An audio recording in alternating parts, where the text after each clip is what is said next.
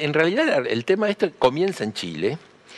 La Argentina estábamos a salvo del problema de Chile. O sea, el, grupo mapuche, los, mapuches en Chile, tienen un enfrentamiento muy profundo, muy fuerte con el gobierno chileno desde hace mucho tiempo. ¿no? De, hecho, por lo que están luchando es por, la, eh, por crear una zona independiente que se llama Araucanía. O sea, crear un territorio mapuche separado de Chile.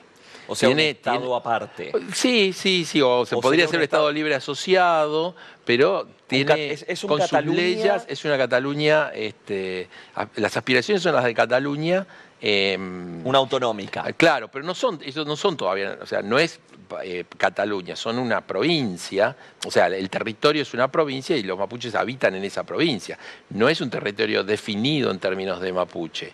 Pero la aspiración es esa, y la, aspiración es separatista.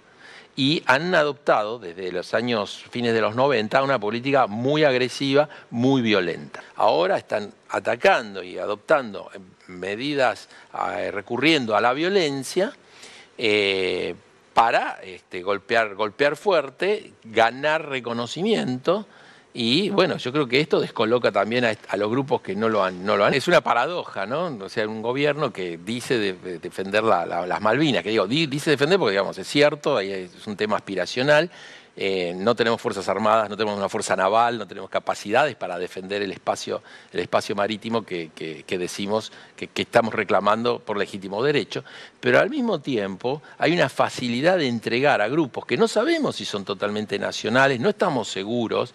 Eh, el, debate de que ya estaban antes y todo eso hay, que, hay que discutirlo porque, bueno, también los incas estaban antes y, unos están en la región de Perú y, los aztecas están, cada uno están distribuidos en distintas regiones, ¿no? no tienen por qué estar en la Patagonia total. Entonces, pero hay una, una predisposición muy, muy fácil del gobierno de entregar estas tierras a grupos que quieren, son separatistas. Este es el problema. Con lo cual, entonces yo diría, es, eh, lo que se está ejerciendo es un nacionalismo entreguista. O sea, por un lado somos ultranacionalistas que vamos a defender este, la tierra y todo eso, pero por otro lado el propio Estado está muy predispuesto fácilmente a entregar tierras que claramente son nuestras, porque el territorio de las provincias patagónicas son de la Argentina, eh, a grupos que lo primero que piensan es que no quieren ser argentinos.